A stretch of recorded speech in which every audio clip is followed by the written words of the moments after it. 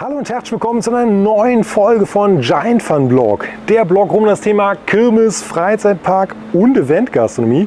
Ihr seht, ich stehe heute vor dem Escape von der Firma Körmann. Neben mir steht der Felix Körmann. Ja, und ich würde sagen, wir legen jetzt einfach los und es ist Time for Fun.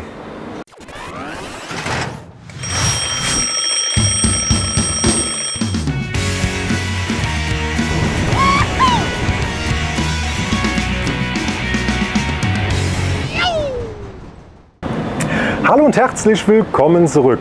Ja, neben mir steht Felix Körmann. Ja, Felix, vielleicht stellst du dich einmal kurz vor. Ja, ich bin Felix Körmann, wie schon gesagt. Und äh, das hier ist unser neues Fahrgeschäft, der Escape, womit wir in Düsseldorf Premiere gefeiert haben.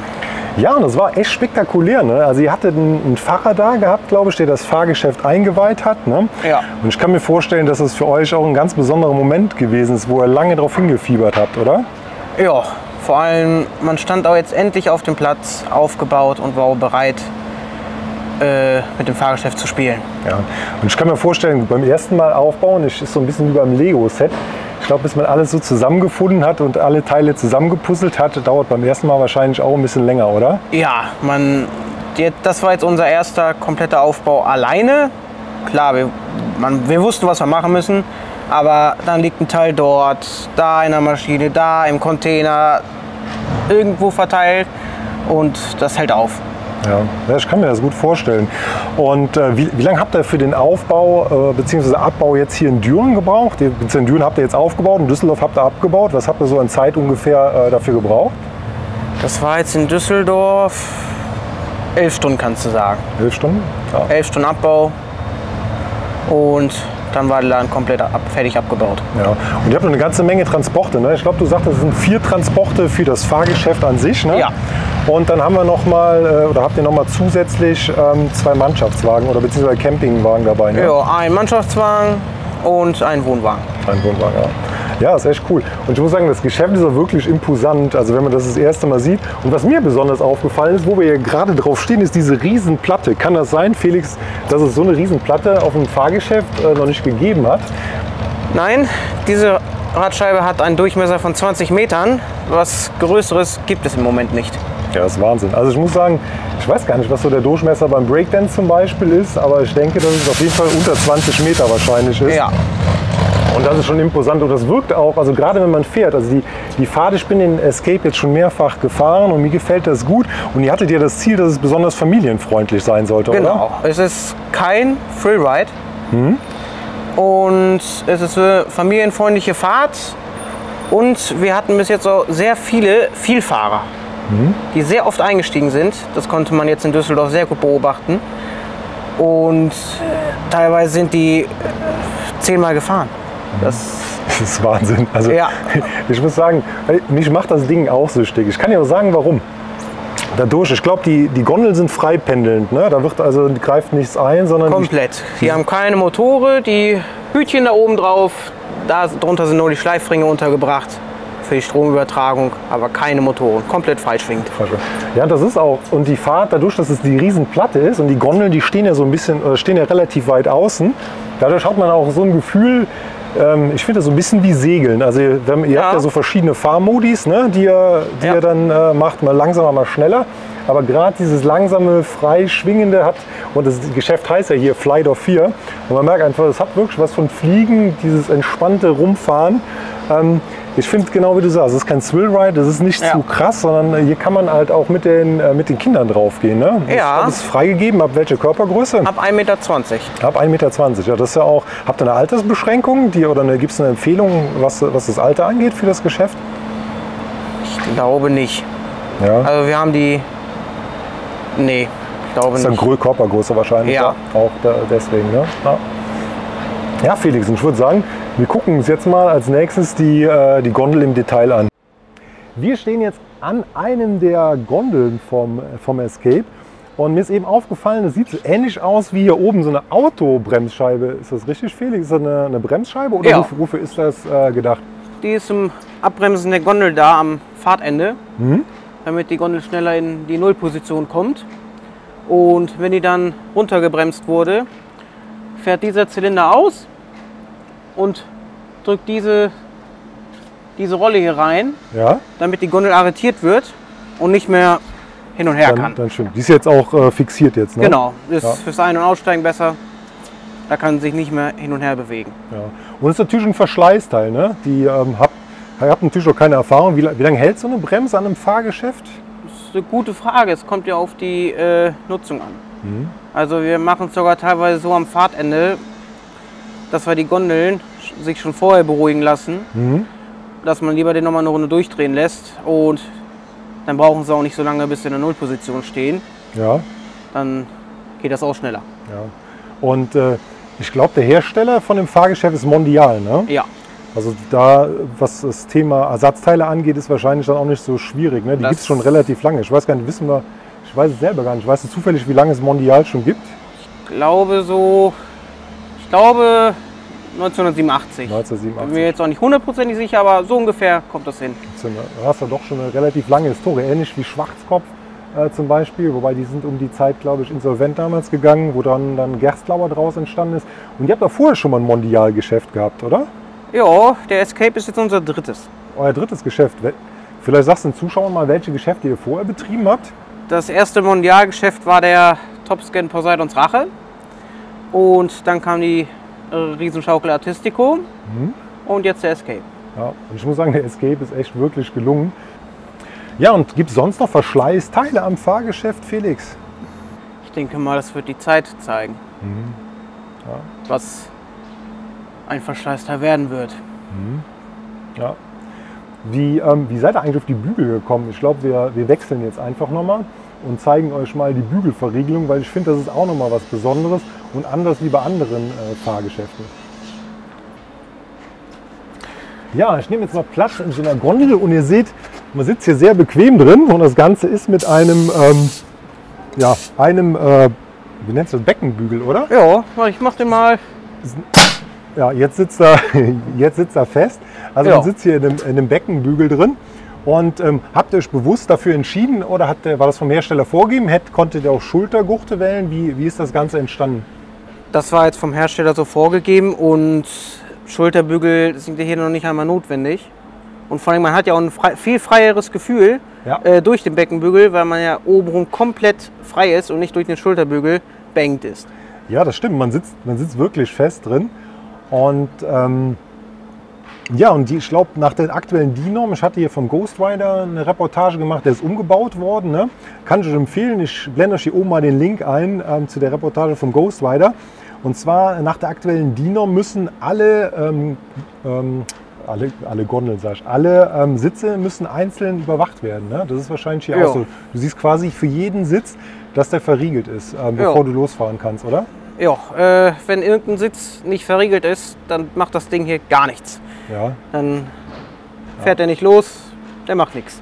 Ja, und ich muss sagen, ist auch gut. Vor allen Dingen Sicherheit geht dann auch am Ende des Tages äh, vor, muss man sagen. Und gerade beim Fahren äh, kann ich euch sagen, ist es auch echt genial, weil gerade wie du eben schon gesagt hast, diese freie Position und die, ähm, das Ganze dreht sich auch so, dass man quasi so ein bisschen nach vorne gebeugt ist und man hat dann auch genau dieses Gefühl, freischwebend zu sein.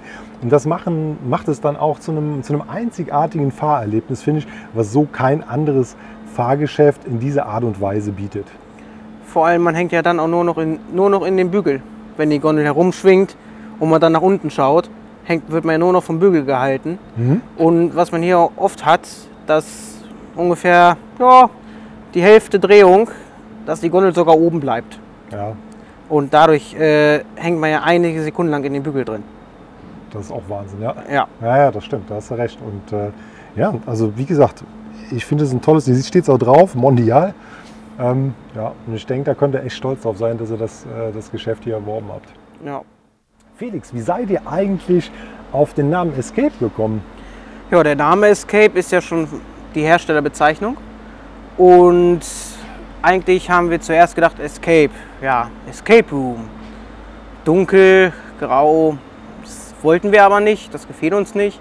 Und dann waren wir schon äh, mit dem Designer verabredet und ja, nochmal kurz davor gegoogelt, ob man vielleicht irgendwas findet.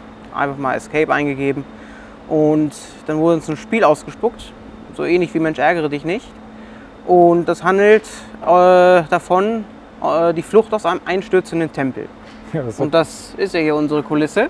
ja. Und dann hatte man schon mal die Grundidee und dann konnte das dann alles entworfen, erarbeitet werden und zu dem gemacht werden, was es jetzt ist. ja, und das ist wirklich toll geworden. Vor allem, das ist nicht foliert. Viele Fahrgeschäfte werden ja inzwischen foliert. Und ihr habt hier wirklich, das Ganze ist wirklich handgemalt. Ne? Ja, komplett, komplette Pinselmalerei, das komplette Geschäft. Das ist Wahnsinn. Also ich muss sagen, das ist schon sehr beeindruckend. Gibt es auch bestimmte Stilelemente, die du äh, beeinflusst hast? Gibt ihr, ähm, die darauf wiederzufinden sind, die, ähm, die ihr sozusagen selber ausgesucht habt, die euch persönlich jetzt mit dem Fahrgeschäft zum Beispiel verbinden? Ja, wir haben uns ja selber drauf malen lassen auf der Rückwand. Ich glaube, wir zeigen das mal. Wir wechseln mal gerade darüber. Ja, Ja, jetzt stehen wir hier an dem Kunstwerk und zwar ist das, ähm, das glaube ich, eure Familie. Ne? Vielleicht erklärst du mal, Ja. wer hier äh, an welcher Position zu sehen ist. ja, die Fahrerin ist meine Mutter, Ja, hier, ja. daneben sitzt mein Vater und zum Schluss sitze ich im Auto. ja ist cool. Und hier ist noch mein Großvater zu sehen.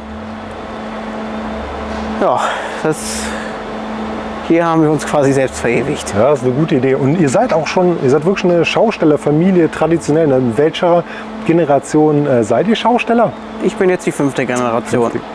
Ja, Wahnsinn. Und äh, auch als ich deinen dein Vater jetzt in Düsseldorf gesprochen habe, deine Mutter ähm, am ersten Tag, ja, ihr seid ja auch wirklich hier so ein Team. Ne? Ihr arbeitet alle zusammen in der Kasse. Ne? Ja. Ihr tauscht euch da aus. Mal rekommendierst du, mal rekommendiert dein Vater, deine Mutter an der Kasse. Und das ist echt cool und abwechslungsreich. Und ich finde auch gerade, das macht die Schaustellerei aus, ne? dass man sozusagen alle zusammenhalten, auch wenn jemand was Ja. kaputt geht.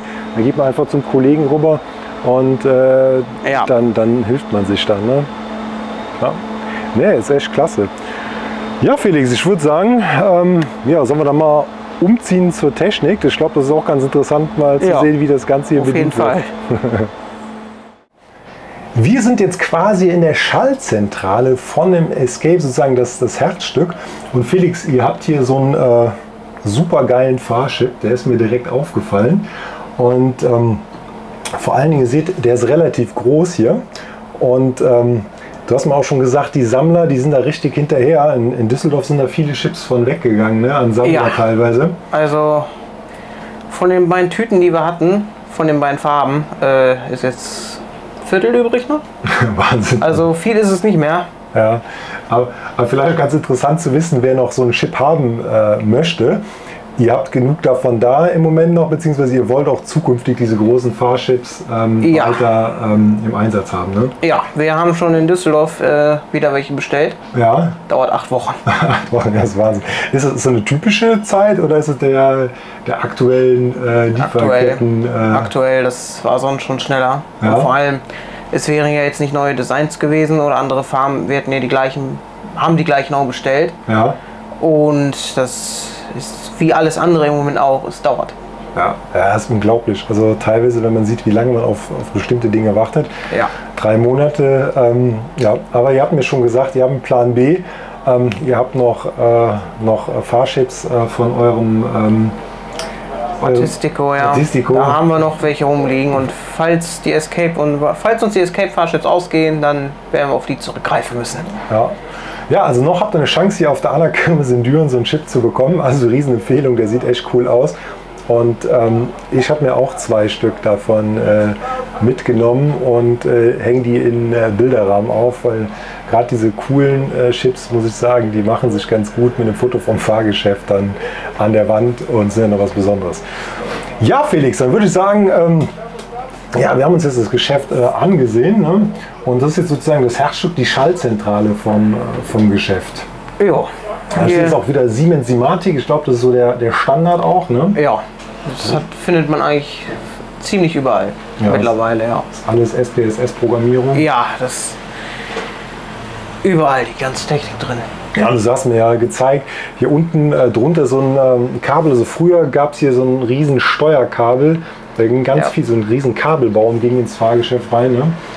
Und hier ist es, ähm, ja, Zwei dünne Kabel, äh, die zur Schalttafel gehen. Sie scha- ja. Mehr ist es nicht. Das ist unglaublich. Ja. Das ist Wahnsinn, wie da die Technik weitergegangen sind. Und die, die Technik, die sitzt vorne, sitzt die im Mittelbau oder wo, wo habt ihr eure Schalttafel Ja. sitzen? Die sitzt unten, äh, hinten im Mittelbau drin. Hm? Einmal unten, die Frequenzumrichter sind unten alle untergebracht und auf der anderen Seite die Sicherung. Dann haben wir auch noch hier oben in der Mitte für jedes einzelne Kreuz einen Schaltschrank verbaut. Und dann auch noch äh, zwei Schränke, die nur vom Licht sind. Ah ja. Ja, Licht ist auch immer so ein. Ihr habt ah, Moving jetzt drauf, ne? Habt ihr die in Düsseldorf auch schon drauf gehabt oder sind Ja. die neu? Die haben wir auch schon in Düsseldorf drauf gehabt. Ja, das ist echt cool. Ich weiß gar nicht, ist in Düren äh, Nebel erlaubt? In Düsseldorf war es ja leider nicht erlaubt. Also ich weiß jetzt hier nichts von irgendeinem Nebelverbot. Ja, das wäre cool. Also es macht nochmal so ein, äh, also gerade Ja. auch mit der Fahrt, ja, da bin ich mal gespannt, wie das Ganze sich mit Nebel Ja. dann hier, hier Ich auch. in, in Wir warten auch noch auf Nebelmaschinen. Ja, Weil eine haben wir noch vom Montistico hm? und drei haben wir jetzt noch bestellt gehabt, aber da sind wir wieder bei Lieferzeiten. Lieferzeiten ja. Das ist auch schon wieder ein paar Monate her, dass wir die bestellt haben ja. und es dauert. Ja. Weil wir haben hier die vier Kisten, wo die Mhm. reinkommen kommen und dann fahren sie ja den ganzen Tag Ah, dafür sind die Kisten da. Genau. Ja, jetzt verstehe ich, ja. Ja, ich zeige euch das gleich nochmal äh, dann in der Mitte. Das sieht wirklich interessant aus da. Das ist eine gute Idee. Habt ihr das von vornherein eingeplant oder wie, wie ist das dazu gekommen? Ja, wir wollten die Nebelmaschinen jetzt nicht offen stehen haben Mhm. und wir wollten sie auch nicht wegpacken müssen jeden Abend. Ja. Also auch ein bisschen Faulheit. Ja. Und da sind sie in der Kiste drin, sind gesichert und man braucht nur eben den Kanister tauschen, Mhm. wenn der leer ist und sonst brauchen wir nichts zu machen. Ja. Ich kann die auch vom Steuerpult den Strom abschalten, Mhm. sprich dann sind sie auch aus. Ja, ja, das ist praktisch echt gut. Ja. Schauen wir uns jetzt mal das, äh, das Steuerpult ähm, im, äh, im Detail an und ich baue mal die Kamera um, da ihr auch mal ein bisschen mehr sehen könnt äh, davon und äh, nicht nur uns beide jetzt hier. Ich denke, euch interessiert die, die Technik genauso äh, wie mich dann am Ende des Tages. Ja, Felix, dann ähm, ist ein wirklich ein riesen imposantes Steuerpult. Und äh, da hast du da vorne so riesen, riesen Potis. Sind die für die Fahrt oder ähm, wof- wofür ist das gedacht? Ja, die sind für den Fahrbetrieb. Das hier ist, um die Radscheibe zu steuern, nach links oder rechts. Hm? Und das gleiche haben wir dann auch nochmal für die Kreuze, die sich dadurch auch regulieren lassen. Ja, ja, das ist ja wirklich, äh, wirklich genial. Sonst hat man immer so kleine. Ist es generell, wo- wovon ist es, weißt du, wovon es abhängig ist? Viele haben ja nur noch so Stufenschalter und es ist wahrscheinlich auch abhängig von der Geschwindigkeit, dann oder von den Fahrgeschäften, ob noch ob Stufenschalter wahrscheinlich verbaut werden müssen oder ob man noch Potis ähm, drin haben darf. Weißt du das? Ich denke, also ich denke jetzt, das ist abhängig, was man selber vielleicht will, beziehungsweise was der Hersteller verbaut. Mhm. Zum Beispiel, hier haben wir auch die stufenlosen Protis. Und beim Artistico hatte ich auch ein Poti für die Gondel. Die konnte ich auch stufenlos die Geschwindigkeit regeln nach links oder rechts. Und da dann auch den Joystick zum Schaukeln. Ah ja. Stimmt, da gibt es Joysticks, ne? Habe ich auch Genau. schon mal gesehen. Das ist äh, tatsächlich für den dann, äh, wie beim Computerspiel, ne? um den anzuschubsen dann. Ja, Ja, das ist cool. Wie hoch war eure Artistico-Schaukel? die hat auch 46 Meter geschaukelt. Ah ja, ist auch eine, eine ganz, ganz ordentliches Teil. Ich blende auch mal ein Bild davon ein, ähm, von dem Artistico. Ich denke, das interessiert den einen oder anderen bestimmt auch, wie das Geschäft Ja. ausge, ausgesehen hat. Und wie, wie wird jetzt so eine Fahrt starten? Was, was musst du dann beachten an... Ähm, Also, ich drücke dann hier erstmal auf Bügel schließen. hm? Dann gehen die Bügel runter, beziehungsweise ist es hier so, man kann an den Gondeln selber die Bügel schalten. Dann gehen die Bügel schon mal runter, sind aber noch nicht komplett verriegelt. Hm?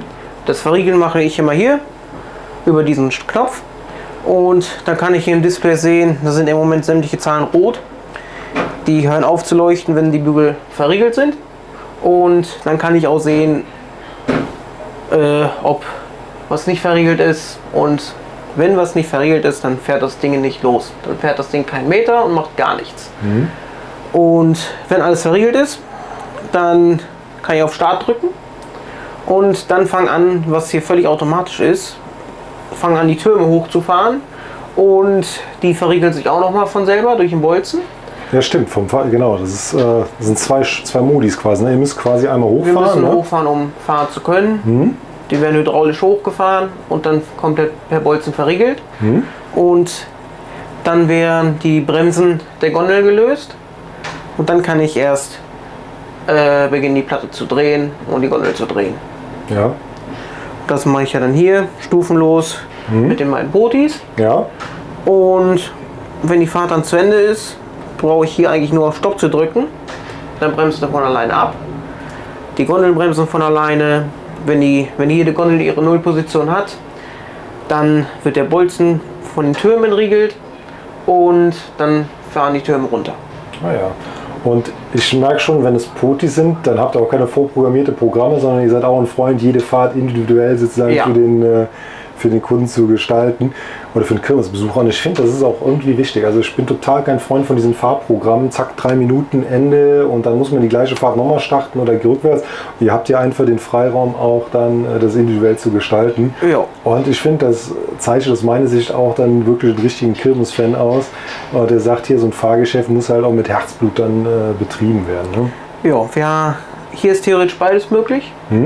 Also wir fahren immer manuell, aber man kann auf Automatik umschalten. Ja? Und dann hat man die Möglichkeit, sich zehn verschiedene Fahrprogramme Ah ja. abzuspeichern, beziehungsweise vorher aufzunehmen. Also wenn ich jetzt, sagen wir mal, ein schönes Fahrprogramm hatte, dann speichere ich das ab, wenn ich das will, und dann kann ich das durchfahren lassen. Kannst auch sagen, du drückst jetzt einen Knopf, jetzt nehme ich die Fahrt auf und dann spielt er mir quasi die nächste Fahrt identisch ab. Jetzt, Ja, und wenn ich zum Beispiel jetzt hier auf den Knopf die Fahrt abspeichere, dann drücke ich nur auf den Knopf und dann fährt er die Fahrt ab. Ach cool. Und äh, die kannst du auch direkt aufzeichnen. Also ich stelle mir gerade so Plug and Play. Ich drücke auf den Knopf, jetzt, zeichne jetzt die aktuelle Fahrt auf und die nächste Fahrt macht er identisch. Also Ja. auch das, das geht direkt. Oh, das ist ja genial. Das ist auch, äh, ja, finde find ich nicht schlecht, dass man das so, so gestalten kann. Ja, dann die, ähm, genau, die, die Lichttechnik, die hast du dann separat, glaube ich, nochmal, ne? Die kann ich hier steuern, kann ich dann sämtliches Licht einschalten, Ja. beziehungsweise auch dann quasi Strom auf die Nebelmaschine geben, weil ich das hier ausschalten kann. Kann man die Platte auch äh, rechts und links bewegen? Kannst du beide Richtungen fahren oder bist du da eingeschränkt? Keine Einschränkungen, ich kann den rumdrehen, wie ich will, nach Lust und Laune, links rum, rechts rum. Das kann ich wechseln, wie ich möchte. Ja, das ist cool. Ja, ich blende euch auch oben mal hier den Link ein. Ich habe in Düsseldorf so eine coole 6-Minuten-Fahrt äh, bei Nacht aufgenommen. Und das ist echt imposant. Äh, kann ich euch äh, echt nur ans Herz legen. Und äh, Felix, ähm, hättest du Lust oder hätt, können wir uns mal vielleicht äh, die Anlagen unten drunter angucken? Ich glaube, das wäre auch ganz spannend, mal die Anlage unten zu sehen. Ja, kein Problem, können wir machen. Wir stehen jetzt quasi unter dem guten Stück Felix. Und ähm, man sieht hier vorne schon die Zahnräder ne, von, der, ähm, von der Platte. Ja, mit dem, äh, mit dem Motor drunter. Beziehungsweise, ähm, das ist auch das, was dann typisch jeden Tag abgeschmiert werden muss, oder? ja, sämtliche Kugeldrehverbindungen werden jeden Tag abgeschmiert und auch hier die einzelnen Zähne werden jeden Tag abgeschmiert. Wir haben hier einmal den Hauptdrehkranz und dann hier außen noch die beiden Zahnräder von den beiden Motoren, weil einmal hinten ist ein Motor verbaut und vorne auch. Ja.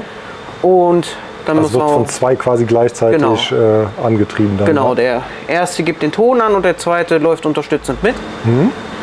Und die Zahnräder werden jeden Tag einmal geschmiert. Einmal geschmiert.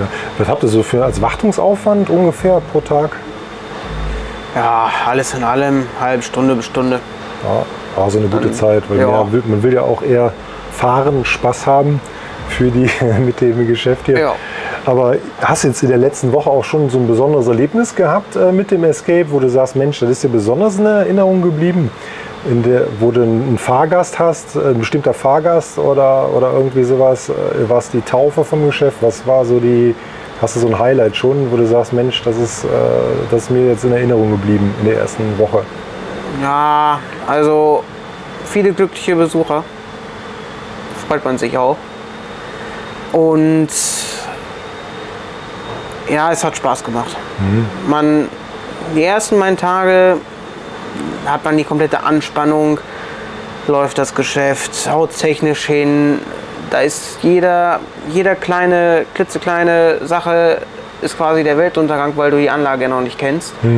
Da freust du dich erstmal, wenn du die ersten paar Tage vorbei hast. Und dann kommt auch langsam kommt die Routine auf.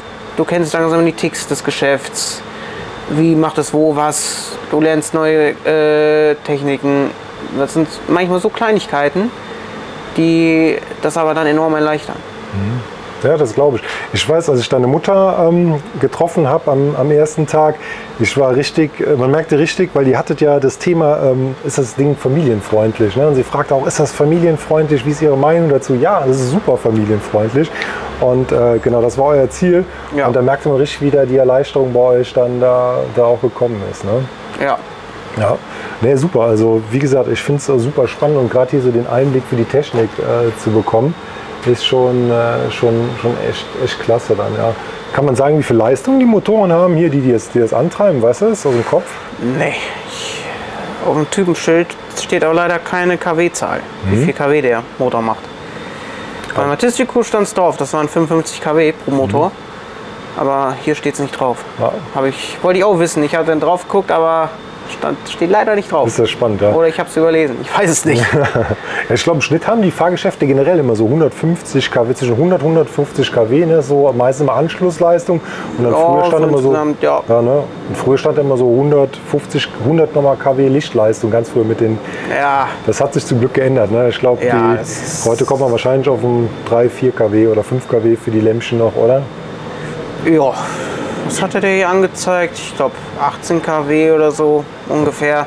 Weil ich kann bei mir vor dem Steuerpult den kompletten Verbrauch sehen und Ah, cool. sämtliche Verbrauchs, was der auf äh, den einzelnen Phasen verbraucht, alles. Ja.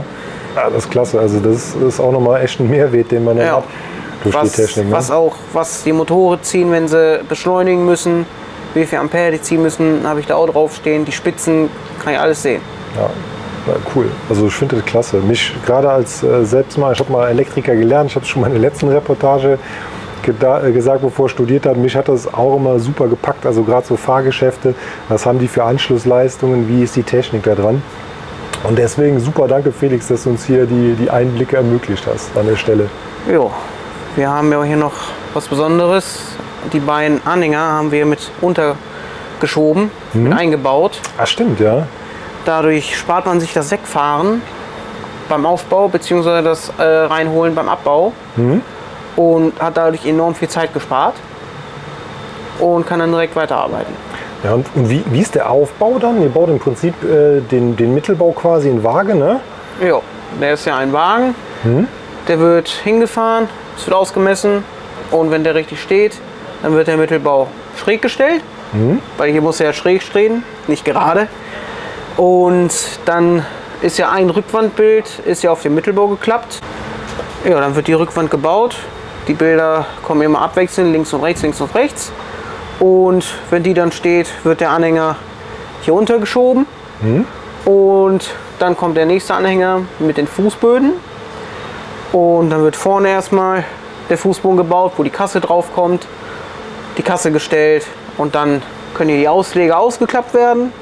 Und wenn die dann ausgeklappt sind, können die Fahrbahnfußböden hier komplett verlegt werden. Und dann kann der zweite Anhänger auf die andere Seite untergeschoben werden. Und dann wird vorne der Fußboden noch komplett geschlossen. Und dann kommt der dritte Anhänger, wo die Gondeln drauf verladen sind. Ja. Wenn die positioniert, dann nur noch die Dekosäulen, Scheinwerferkästen und dann ist die Kranarbeit abgeschlossen. Ja. Und Ah, es wird mit Kran aufgebaut. alles. Ja. Also wirklich alles wird hier mit dem Kran gemacht. Selbst die Holzplatten hier werden mit dem Kran gelegt. Die sind zusammengeschraubt und werden einfach das nur mit dem ist Kran ja. gelegt. Und auch eigentlich alle Deko-Elemente werden mit dem Kran gesetzt. Und dann steht das Geschäft.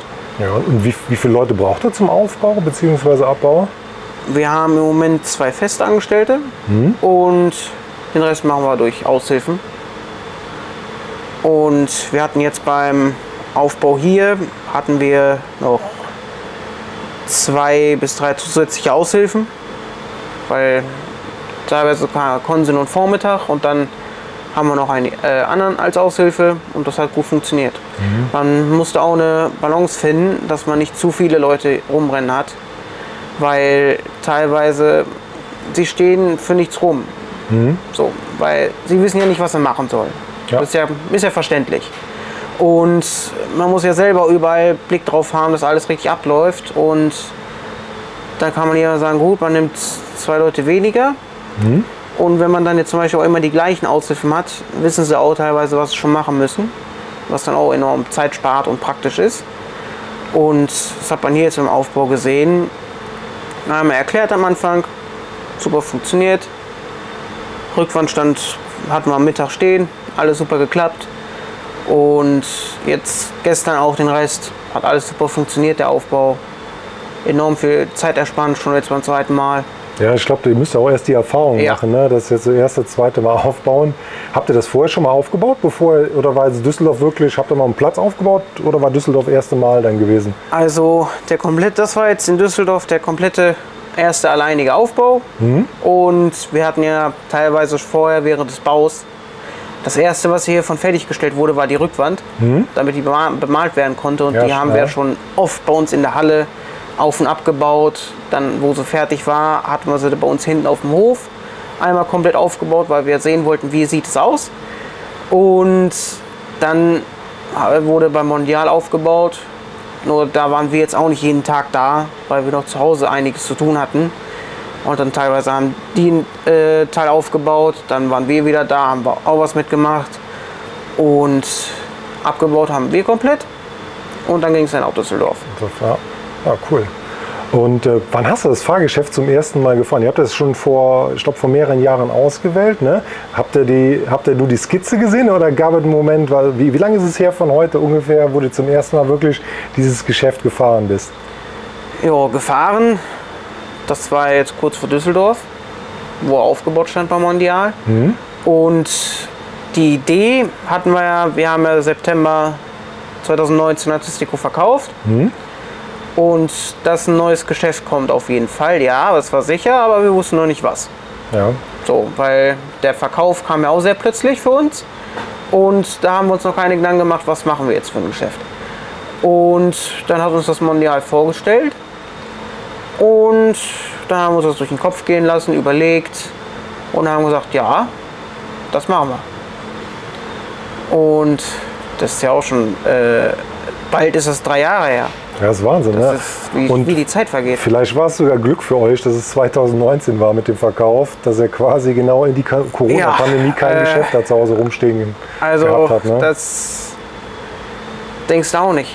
ja, das war echt Vor allen. Dingen zuerst, wo das anfing, hast du gedacht, ja gut, dann ist jetzt mal ein paar Wochen nichts oder so. Aber das ist alles so passiert und das alles, äh, da denkst du nicht zuerst dran. Ja, ja, ich glaube Also wir das. zumindest nicht, haben wir nicht gedacht. Ja.